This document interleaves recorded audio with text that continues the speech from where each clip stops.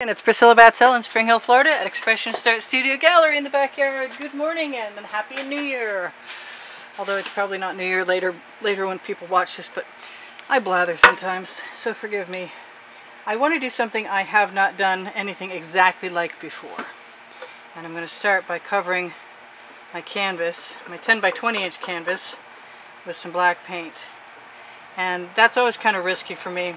I'd prefer mostly to either use already black canvas or let one prime one and let it dry from the day before then assume that it's going to cover everything in one coat of a background color. But I want the background to be a catalyst for the colors on top of it so it needs to be wet anyway and I don't want it to be white because I've just done two warm-ups after a few days off and they were white and uh, one of them is good and one of them is going to be a part one and have a part two. I'm pretty certain about that. So I've got glasses and I remembered to put them on my face. I'm going to add a little bit more paint. This is all about my squeeze bottles. This is the colors that I've got and I'm going to call it abstract expressionist art, fluid art, because my intention is to just go as I is to just as I go along to add whatever colors I want. And in this case, I'd like some funky bands of color that make make you think of a landscape maybe. Layers of, you know, water or air or earth. But they don't have to be any particular color. They can be just pretty colors, which is what I have in mind. And I want to cross some over and use my, yes, I have my medical tubing, um, which anybody could use a bendy straw, and I think is equally as good, if not better. The only reason I use the medical tubing is to attempt to keep my head out of the, uh, out from underneath the camera. So, as usual, I'm going to leave my edges blank and figure that I can fill in black later or that color will fall down over. And I don't know if I'm even going to tip with this. So I want a pretty nice thin layer, but it needs to cover pretty well. So I'm going to hit it one more time with the OXO omelet turning spatula that I have made available on the Amazon link underneath the video along with a bunch of other stuff.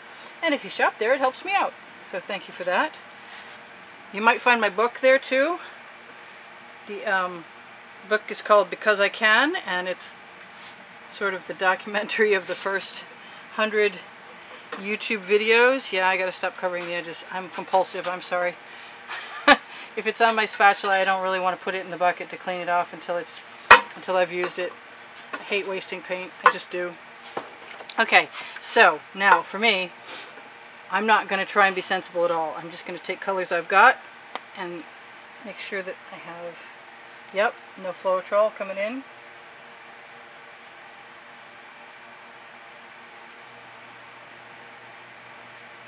And I'm going to start by giving myself an opportunity to blow and see what happens.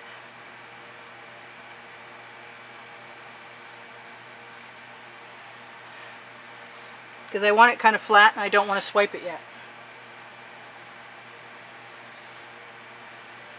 I may be swiping with my Princeton Art Tool Catalyst spatulas. And um, I'm going to do that again and put another color there and I'm going to put it kind of kind of far away so we have less chance of running into each other. There's a double dose there. I'm not sure that was a good idea on my part. But I've got this color shift blue from Folk Art. Actually, I really want some of that up above. And I'm just going to sort of wind it back and forth on either side. Just to see what happens.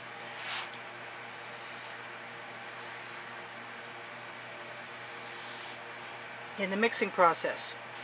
And I've got some dripping down and I'm going to stick it right back up there.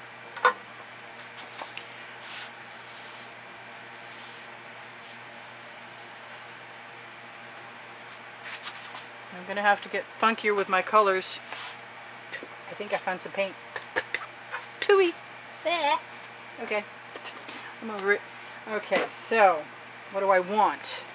I want to continue with my color shift theme and playing with different applications that may change up what's happening between the black and the color shift turquoise and the and the shimmering neon purple, which I've probably added golden iridescent medium fine to. It's not medium, it's not called medium, it's golden iridescent fine. I can't seem to quite get past that it isn't a medium and it's not called a paint, it's just, it is what it is. And I'm going to stick some of this purple along the bottom, make a slightly more cohesive area. And if I have to black it out because it looks wrong, I will do that. Alright, so the pink, I think will disappear. But I also don't think it's going to hurt anything to try it in there and see what happens. Because I can. Same with the white pearl, which is over here. Yes, I have not used that today. And I could probably also put some black in there and see what happens. I like my skewer manipulations. I'm just trying to make, you know, what do they call those dogs and cats? Brindles. Just make a mixed mixed bunch of colors that come out pretty together. And I like that pink, and I'm not sure if it's going to show up or not, but I am going to make it, use it on the other side. Now I'm kind of glad I didn't put those any closer together because I really want something between them, and I'm not sure that it would look right.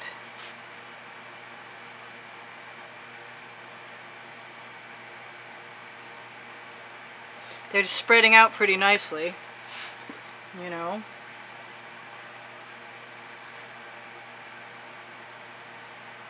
I just want a sort of a chevron shaped area. And I have this, do I want that? No, I want some of that um, Prussian blue. Come on out.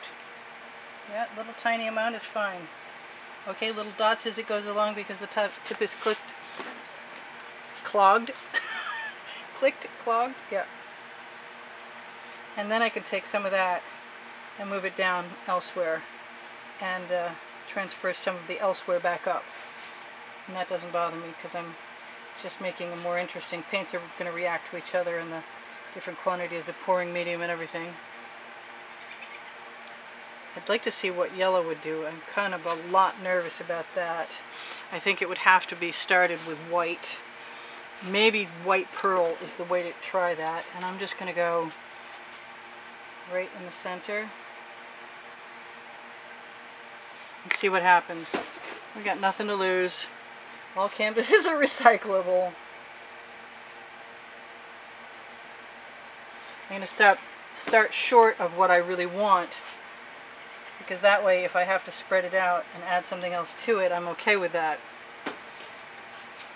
And I am definitely contemplating using my skewer as a pulling tool. If I don't pull too much, I might have a chance not to uh, muddy my colors in an extreme way, but I think I need more of that white pearl over there. It doesn't really look like anything yet, but maybe it's just going to be a sort of a graphic pattern anyway. Because we can. Because this is like the precursor to figuring out what comes next, basically.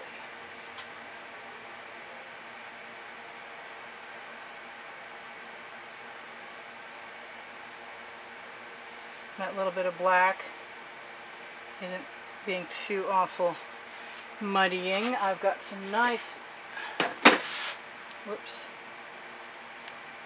nice red orange. Nothing seems to be coming out awfully well right in the moment. Tips must be clogging up a little bit. I'm at a weird angle. I know I am.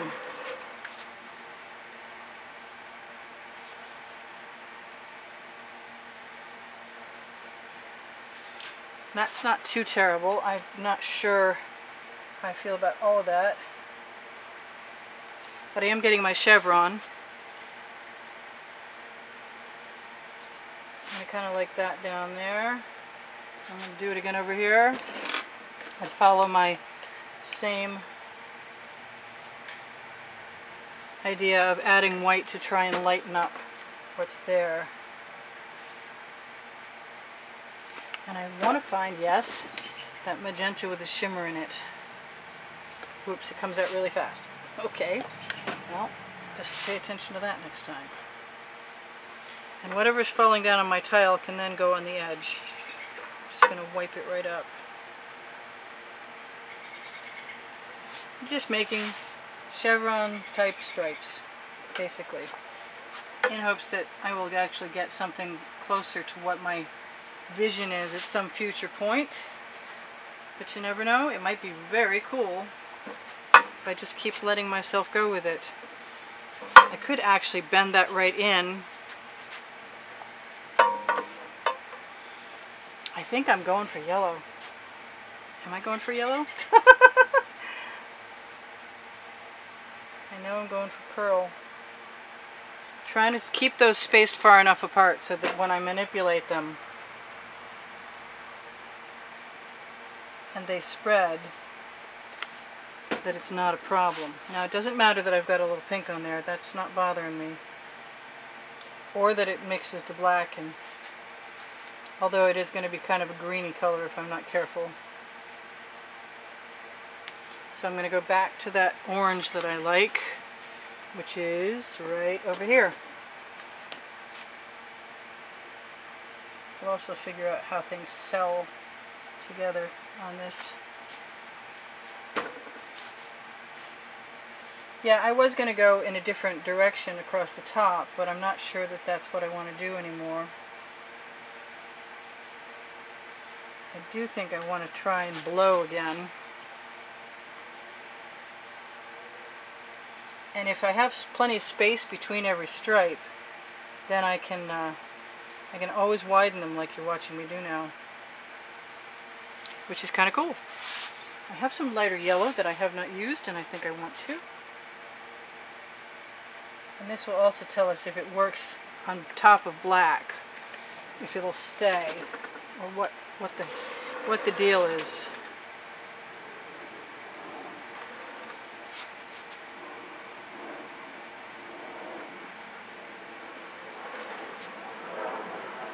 if I just roll that a little bit, bring enough of that black up. So I like that turquoise and I think that that's what's next. And I want to make sure that I have the pearl. Actually, I think I'm going to do that. I see that chunk. I see you, chunk. Goodbye, chunk.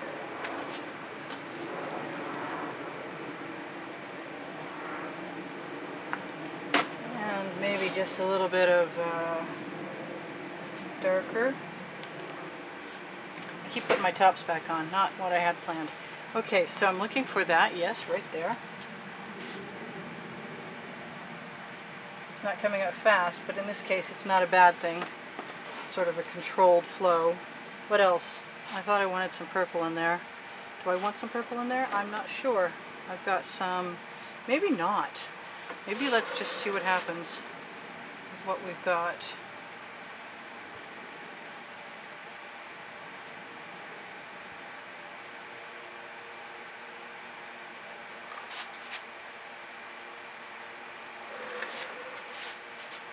Yeah, that's mixing quite nicely. So much so I'm contemplating my spatula coming out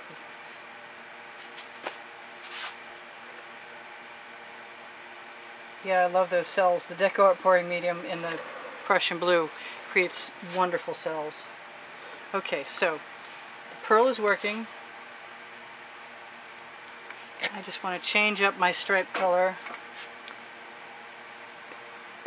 Maybe move a little faster. I set my timer this time, thank you. and I'm still liking that Deco Art Pouring Medium in the Prussian blue. So that's what I'm going to do. I'm going to keep the color that's on my skewer.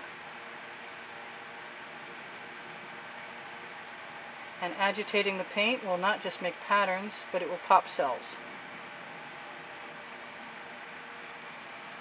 Very pretty. Alright, so I think I'll at least copy that same angle, losing my negative space in between. I don't know if that means I should um, add some black back in, in there or what. It does make me want to add some other colors to a few other places. Widen my stripes out just a tad to match sort of thing, which isn't hurting my feelings a bit. And I can do it wherever I want.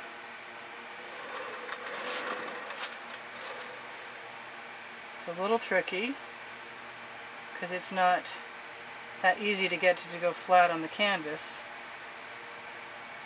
But when it works, it's neat.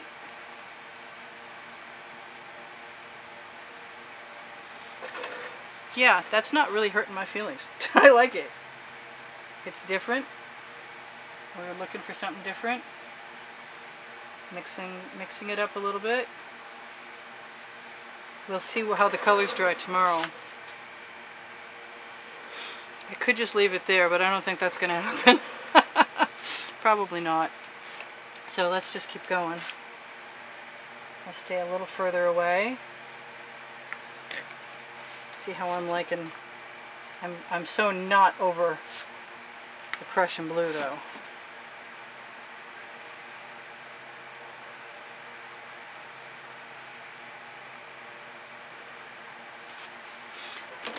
Allowed my paint to completely swallow my workspace. Let's throw a little more white in there.